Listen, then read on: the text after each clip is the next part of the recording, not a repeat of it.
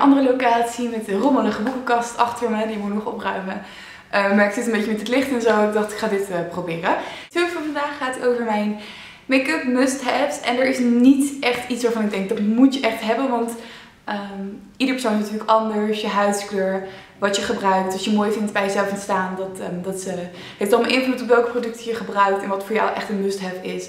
En wat niet. Bijvoorbeeld, ik heb niet een hele zuivere huid, dus ik vind een foundation voor mij echt een must-have. Maar als je een hele gave huid hebt, kan ik me voorstellen dat jij zoiets hebt van nou, misschien een beetje poeder en uh, verder niet. Maar ik heb toch even een paar producten uitgekozen waarvan ik denk, ik denk dat dat wel een paar basic producten zijn. Een paar must-haves.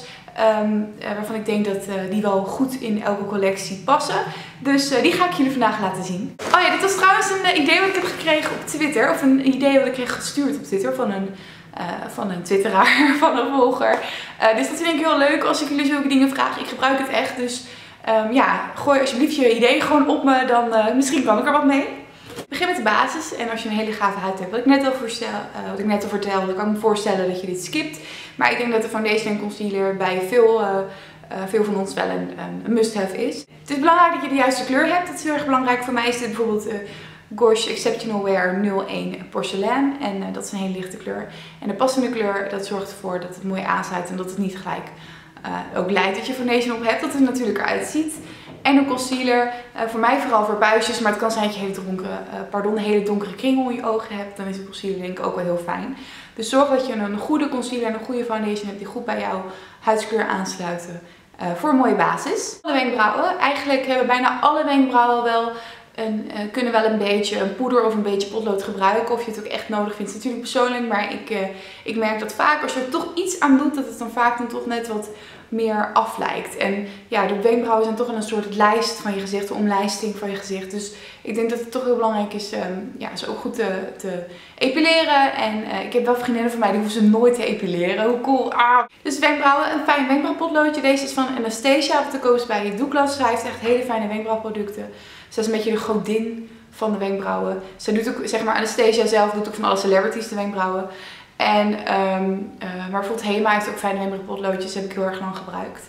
En ik denk dat ja, je wenkbrauwen verzorgen gewoon heel erg uh, belangrijk is. Ze mooi hebben, dus vandaar een wenkbrauwpotloodje. Blush maakt het voor mij echt af. Als ik blush ben vergeten, dan denk ik de hele dag van oh nee, er ontbreekt wat. Je ziet het gewoon, omdat je door foundation maak je huid vrij uh, egaal, één kleur. En met blush kun je wat meer vorm geven en wat meer leven, want je geeft een gezonde blos. Um, een hele lichtroze blush is eigenlijk voor iedereen wel geschikt. Of niet heel lichtroze, maar ja, een roze blush. Als je wat getinter bent, dan kun je een iets fellere kleur kiezen. Uh, maar dit is bijvoorbeeld Dame van MAC en dit is voor mij een hele goede basic roze kleur. Past eigenlijk overal bij, geeft een heel natuurlijk effect. Gewoon een beetje van de blozende wangetjes en dat is wel heel mooi. Oogschaduw is natuurlijk onmisbaar, zodat al je oogschaduws mooi aanbrengen, lang blijven zitten en mooi zitten ook. Deze is van Essence, vind ik heel erg fijn, de Eyelash Stage Eyeshadow Base. Nou, ik gebruik zelf, ik heb dan een beetje, ik heb een potlood en een gel liner en een eyeliner erbij gedaan. Ik denk dat één van de drie wel belangrijk is. Ik vind zelf de vloeibare eyeliner gebruik ik het meest. Uh, ja, oogpotlood is gewoon een klassieker. Dat wordt door heel veel uh, vrouwen en meisjes gebruikt. Um, ik zelf vind het niet zo, omdat je er dus niet een mooi strak lijntje mee kunt maken. En ik merk dus ook op de waterlijn dat gelliner eigenlijk beter blijft zitten. Je hebt er dan wel weer een apart kwastje voor nodig, wat een beetje onhandig is. Uh, maar voor de gelliner, uh, voor de waterlijn, pardon, blijft het heel erg goed zitten.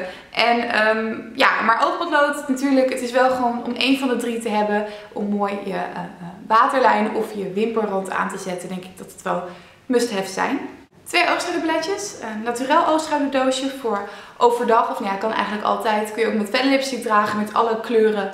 Altijd goed. Ik heb deze van Too Faced Natural Eyes, mijn favoriet.